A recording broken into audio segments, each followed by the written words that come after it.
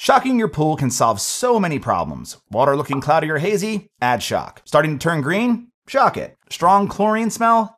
Yeah, it's actually time to shock. But how do you know what type of shock to use and how much to add? When done incorrectly, shocking not only wastes time and money, but can also damage your pool. Hi, I'm Matt from Swim University, and here's everything that you need to know about how pool shock works, which type to use, and how to add it to your water. So first, what does shocking actually do? Shocking your pool means adding a concentrated dose of chlorine to the water. This quickly spikes your free chlorine levels to overwhelm and kill contaminants like algae and bacteria. It also breaks apart used up chlorine, also known as combined chlorine or chloramines. This reactivates your existing chlorine and gets rid of that chlorine smell which is caused by chloramines. Now, the goal of shocking is to reach what's called breakpoint chlorination. This means raising your free chlorine levels by at least 10 times the amount of your combined chlorine in the water. And if you're not sure how to calculate your combined chlorine, check out our other video. But essentially, you're super sanitizing the water to kill anything that your regular chlorine levels might be struggling to handle. Shocking can also mean adding a non-chlorine oxidizer to the water. This doesn't directly kill contaminants and it won't raise your free chlorine, but it does oxidize organic contaminants and break apart combined chlorine. Now, regular shocking can keep your sanitizer active in the water and clear up any early stage algae.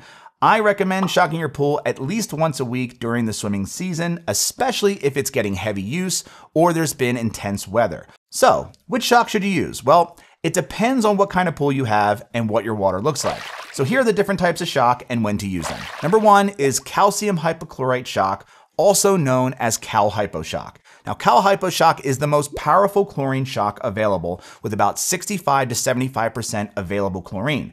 It must be added at night because it's unstabilized, and that means it'll get burned off by the sun's UV rays.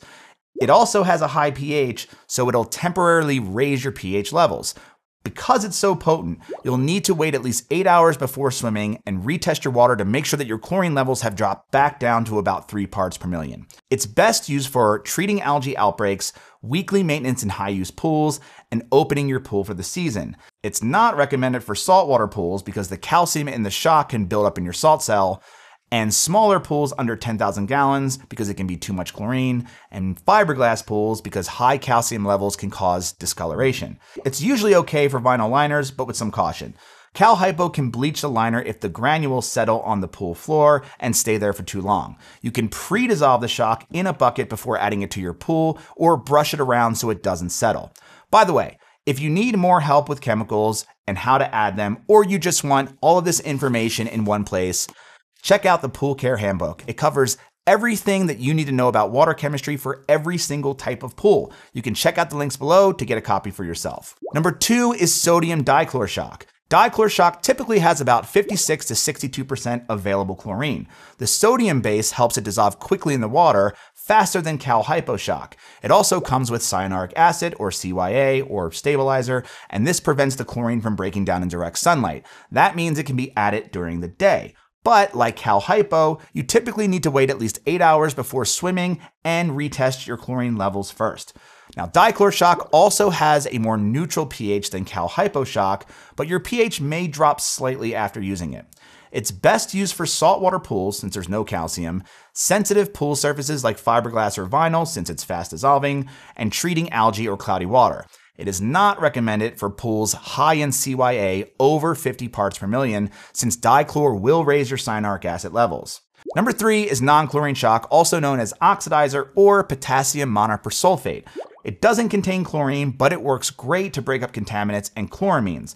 Non-chlorine shock also won't affect your calcium or your CYA levels. Now, this is best used for weekly maintenance to break apart combined chlorine, when you want to swim quickly after shocking, and you can check the directions on the package, but usually you only need to wait about 20 to 30 minutes. All pool types, non-chlorine shock works in any type of pool. When you don't want to raise your other levels like chlorine, cyanuric acid, or calcium. Now, it is not recommended for treating algae or cloudy water because it doesn't directly kill algae and contaminants, so you want to go for a chlorine shock instead. Number four is liquid chlorine, also known as sodium hypochlorite, also known as bleach. Liquid chlorine contains 10 to 12.5% available chlorine.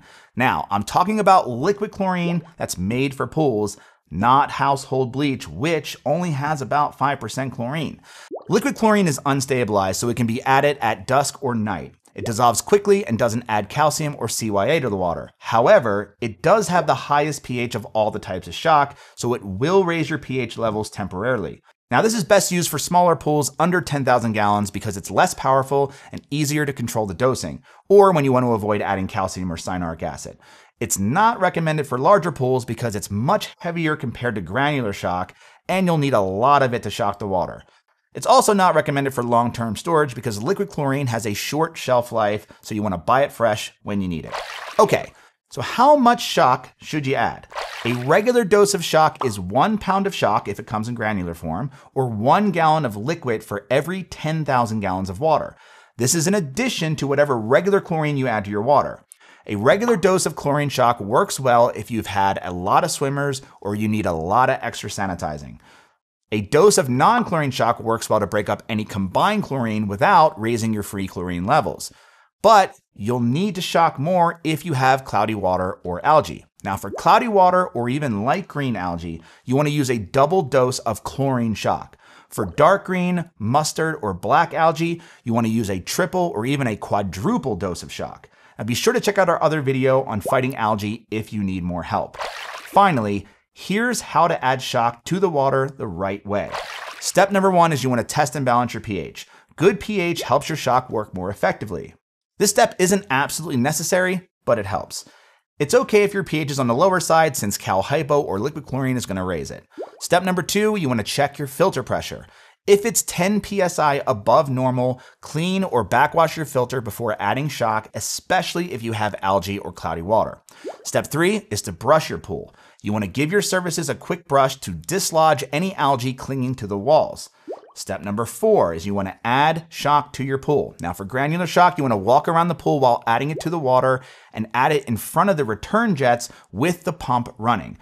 If you notice any settling on the pool surfaces, brush it around to help it dissolve quickly. For liquid shock, you can just walk around the pool, adding it directly to the water, or you can pour it in front of one of your return jets.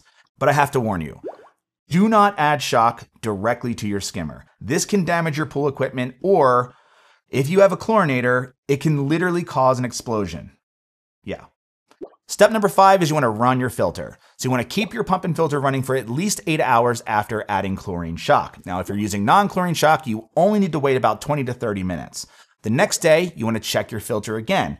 It may need cleaning or backwashing, and you always retest your water before swimming to make sure that your chlorine is back in range. And if you want more help with chemistry and weekly care, please check out the Pool Care Handbook at swimu.com/book or by using any of the links below. That's it. Thanks again for watching and happy swimming.